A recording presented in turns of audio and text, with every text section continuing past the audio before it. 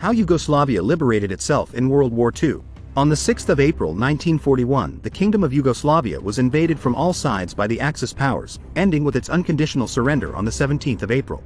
The terms of the capitulation were extremely severe as the Axis powers proceeded to dismember Yugoslavia between them. While the Molotov-Ribbentrop Pact between Germany and the Soviet Union was in effect, the Yugoslavian communists refrained from open conflict with the new regime. However, as soon as Germany invaded the Soviet Union in 1941, the partisans started to organize uprisings. Yugoslavia became a beacon for spreading the fight against the Axis occupation, especially once the tide started to change in 1943. By the end of the war with Allied air support and assistance from the Red Army, the partisans liberated Belgrade in a joint operation with the Soviets.